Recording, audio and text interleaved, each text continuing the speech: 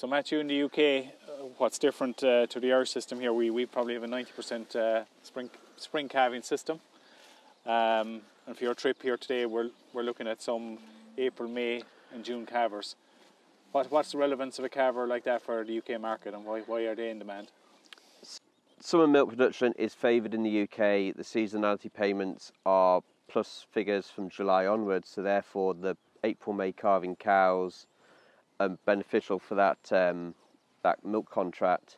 And what kind of a contract is that? Is that a, is it a liquid milk or is it more cheese related, or um, is there any particular example? It's um, it's manufacturing milk, um, so that so, so particularly the Arla contract and also some of the Muller contracts. They are on uh, positive seasonality in the summer.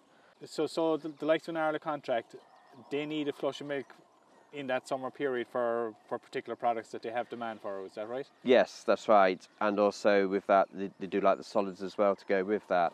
Um, that's that's why the Irish cow is suiting the um, summer contracts over in the UK. Okay, and that summer would the cow be calving outside? typically, or will it calve indoors and go to grass, or typically um, happen? So, a bit of both really. So, you know, the cow will mainly probably be calved inside, and then she'll go straight out to grass, and um, again, then she'll come in and be wintered, and she'll have a bit more grass then the next spring before being dried off. Okay.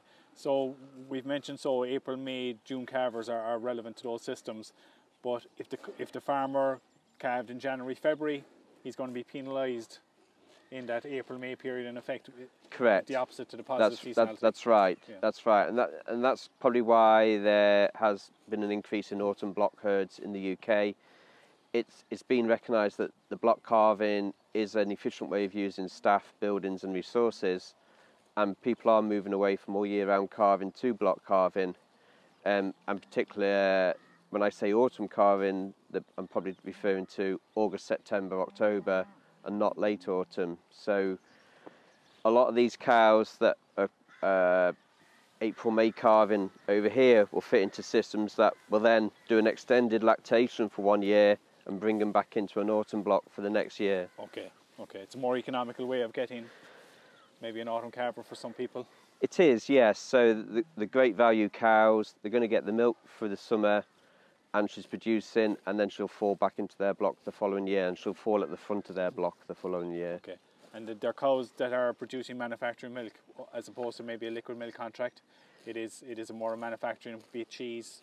It is. So, so um, it, it, will be manufacturing. Um, you know, they are high solids, so it will be a manufacturing contract to go to. Yes. Yes.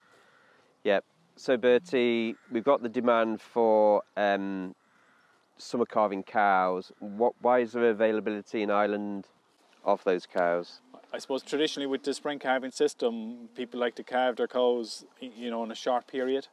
Um, the system is built to calve, say, late January, right up to late March, early April. And I suppose there's a, there's a, there's a, there's a number of cows in any, any spring calving system that will calve in that April, maybe early May period, where there's deemed surplus to requirements.